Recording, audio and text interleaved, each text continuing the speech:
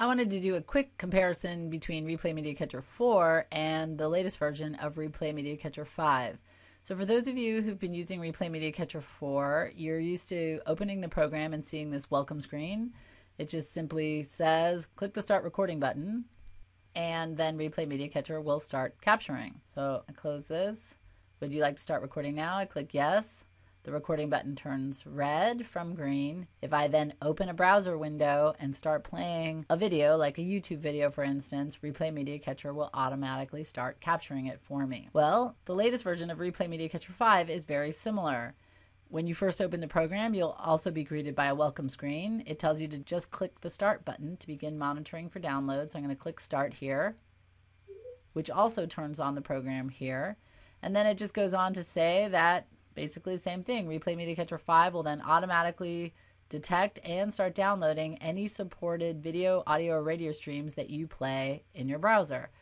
A point of difference, though, between the two programs is that with Replay Media Catcher 5, you have a chance to tweak the way the interface looks for you. The default interface, which is the beginner's interface, which is the one that I have here, which shows you the library screen, which is this one, the guides page, which is one of my favorite features about this program. It gives you access to video, music, and radio sites from all over the world.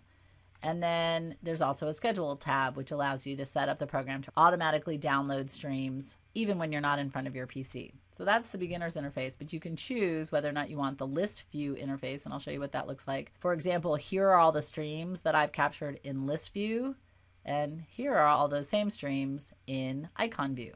So you get to choose whether or not you want list view or icon view. And then the last option is the advanced interface, which gives you immediate access to the audio recording tool and the history capture tool. Both are very cool features. I'm going to go back to the beginner's interface, which is, as I said, the default. I am now ready to start capturing, so I'm just going to click OK. And as with Replay Media Catcher 4, all you need to do is start playing a stream either from the guides or open a browser window and start playing a video. Once the video starts to play in your browser, Replay Media Catcher will start capturing it. Replay Media Catcher 5 finished capturing the stream, and it only had been playing for about 22 seconds, which is pretty great.